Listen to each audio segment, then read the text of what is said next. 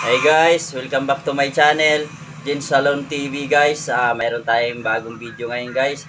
I-vlog natin itong ano, ah, mag-pedicure tayo. Medyo pataob kasi yung kuko niya kaya bumaon yung ingrown niya sa gilid ng ano niya kaya masakit, ambit yung namamaga ito. Ah, ayusin natin to guys, yung kuko niya guys.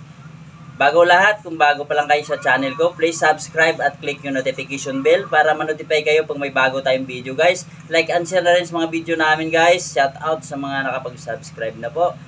Maraming salamat sa suporta nyo guys. God bless po sa inyong lahat. Ah, yung mga nagtatanong naman kung nasaan yung location ng salon namin guys. Andito lang kami sa loob ng Sampaloc Site 2 guys sa Barangay BF Homes. Ah, sa may corner ng Kamatsili Street. Main road lang po ito. Ah, Gin Salon po. Gin Salon. Ah, pwede po kayong mag ano, mag-inquire dito guys. Maraming salamat po. Kita-kits po tayo. Araw, umpisa na natin.